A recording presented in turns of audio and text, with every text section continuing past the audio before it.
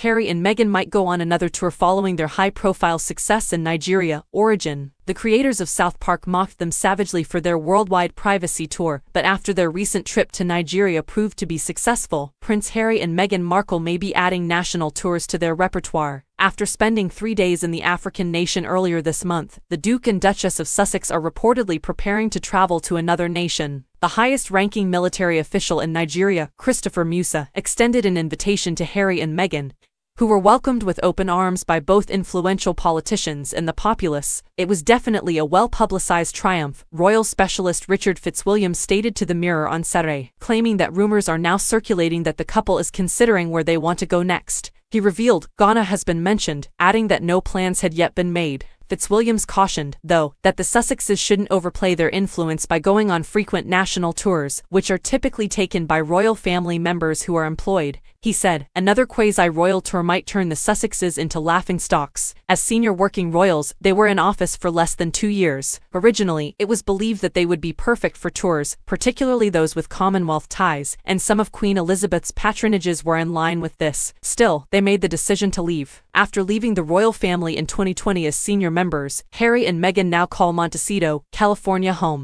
The two are no longer employed by the firm, but they still hold their royal titles.